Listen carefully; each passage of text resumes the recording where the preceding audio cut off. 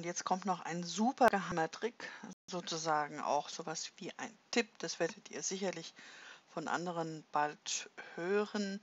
Und zwar ähm, haben wir das ja bisher so gemacht, dass wir Äquivalenzumformung durchgeführt haben. Und ich habe euch gezeigt, dass man das hier in dem Programm machen kann, indem man da länger auf das Gleicherzeichen tippt und dann eben die Äquivalenzumformung angibt. Entweder fängt man mit minus 15x an oder plus 4 ne? und zum Beispiel dieses hier ähm, eintippt. Man kann das aber auch ein bisschen anders machen, weil ich führe es gerade mal durch.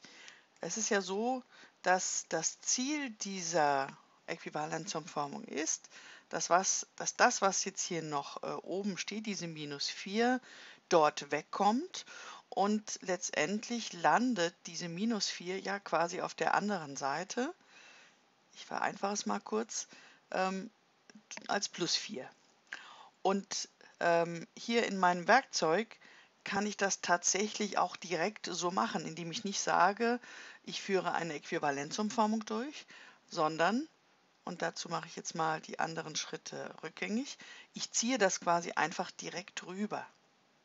Das heißt, ich fasse mein minus 4 an und ziehe es auf die andere Seite.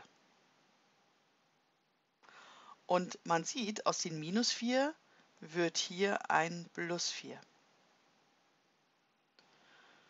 Das ist jetzt tatsächlich ein Schritt eben weniger, als wenn man das ähm, mit den Äquivalenzumformungen schreibt. Man muss aber immer dran denken, dass hinter diesem Schritt, also hinter dieser Umformung, tatsächlich eine Äquivalenzumformung steht, wie ich das eben ähm, schon gezeigt hatte. Ja, ich kann das äh, hier auch noch ein zweites Mal mir hier einfügen, indem ich an den Punkte einfach ziehe und dann könnte ich das im Vergleich auch äh, aufschreiben. Das ist äh, plus 4 ja, und dann mal gerade mal ein bisschen aufräumen. So.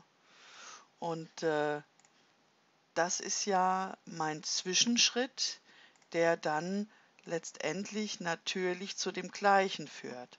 Ja, also wenn man das hier in diesem Programm so rüberzieht, muss man eigentlich dran denken, dass das hier so Zwischenschritte sind, die man da eigentlich durchführt.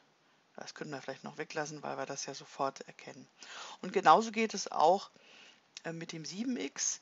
Damit ich ähm, das aber rüberziehen kann, muss ich aufpassen, wenn ich hier ziehe an der 7, dann wird nur die 7 bewegt und die x hier.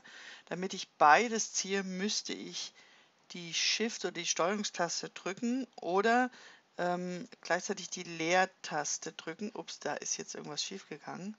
Ich vermute mal, dass das irgendwie ähm, nicht so gut geht. Also hier auf, in Moodle klappt das leider wohl nicht mit der Leertaste. Dann nutze ich weiterhin die Großschreibetaste, um erst das 7 und das X zu markieren und wenn beide blau sind, kann ich sie in einem rüberziehen. Ähm, in Moodle funktioniert das mit der Leertaste nicht. Normalerweise kann ich mit der Leertaste also einen zusammenhängenden Ausdruck ähm, markieren und dann in einem rüberziehen. So geht es eben nicht. Und dann wird hier, wenn ich das rüberziehe, aus der plus 7 eine minus 7x, also plus 7x minus 7x. Ja, da ist die Zeile davor. Das Ganze vereinfachen und schon habe ich das Ganze, was ich vorhin mit den Äquivalenzumformungen sehr umständlich machen musste. Aber wir müssen daran denken, letztendlich steckt hinter diesem Schritt, hinter dem Schritt und hinter dem Schritt immer auch eine Äquivalenzumformung. Auf beiden Seiten muss ich das gleiche machen. Es ist halt eine kürzere Überlegung, und das ist durchaus okay, wenn man sich das so überlegt. Man muss aber eben aufpassen, dass man da nicht zu einfach denkt, weil manche Operationen lassen sich nicht durchführen. Der Vorteil von dem Graspable Math 4 ist, ihr könnt es ausprobieren und gucken, ob es funktioniert und das Programm sagt euch, was rauskommt und da seht ihr, war das eine gute oder eine schlechte Idee.